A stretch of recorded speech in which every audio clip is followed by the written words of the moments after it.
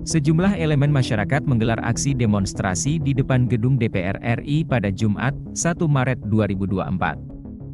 Adapun elemen masyarakat yang melakukan aksi demo mulai dari mahasiswa, pelajar, dan poros buruh.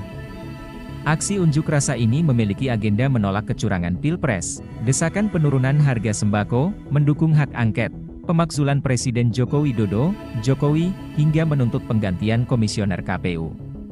Sebelum melakukan aksi demo, masa yang mengatasnamakan Arya, Aliansi Relawan Anis, menggelar salat Jumat berjamaah. Salat Jumat ini dipimpin oleh Ketua Umum DPP Gerakan Nasional Gemilang, Legisan Samtafsif.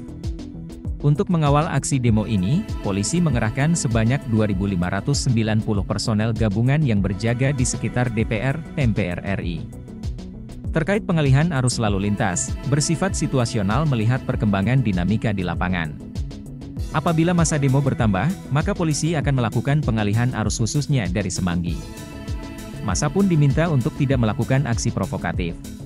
Terus kita berpantang. Saudara saudara, itulah tekad kita. Lebih baik kita mati berkalang tanah daripada eh, hidup sebagai penjilat. Karena semua bakal mati betul.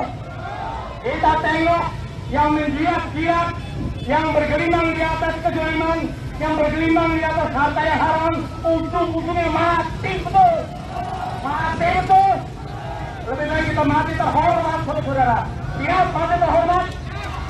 Jangan takut, saudara-saudara. Yang memberi rezeki siapa? Yang memberi hidup siapa? Bukan manusia. Oleh karena itu jangan takut kehilangan jabatan. Jangan takut kehilangan gaji. Saudara-saudara, takutlah kepada Maha Kuasa yang menciptakan alam semesta.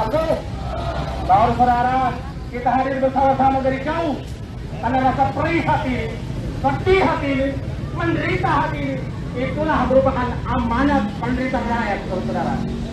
Oleh karena itu, kita berteriak-teriak di hadapan gedung DPR. Hanya satu tujuan kita, laksanakan hak angket. Download Tribun X sekarang, menghadirkan lokal menjadi Indonesia.